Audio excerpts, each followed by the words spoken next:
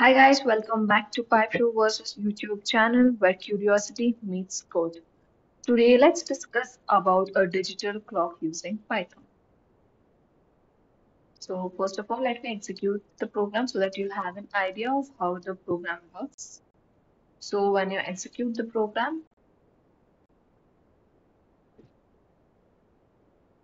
you will see a digital clock displaying including the milliseconds also.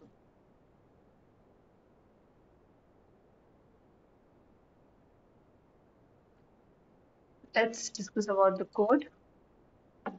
So here, as you can see, first we import tkinter and datetime modules. We define function update clock to fetch the current time, format it, update the clock label, and schedule the function to run again after one millisecond.